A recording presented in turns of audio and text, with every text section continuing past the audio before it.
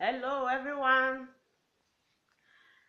I have a testimony and I want to thank God for my life.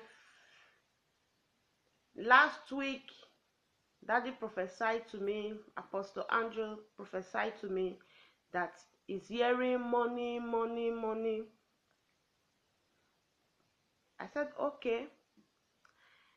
On, on Saturday of it, I called because where I live, whereas in my residence, I called the guy that I have changed my residence. I'm no longer in that place. So he told me that I have a letter. I said, okay, I, I will come the next. I told him I will come that day to check what they have sent for me. So I went there. It was about money.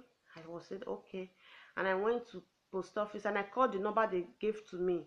So the person said it's the money and the, to cut the long story short, I went there and they gave me 250 euro, which, which I was not expecting at all.